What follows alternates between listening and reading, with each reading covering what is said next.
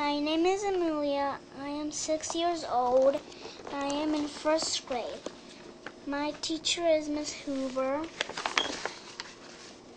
I am from Peru. I like math and I like Minnie Mouse.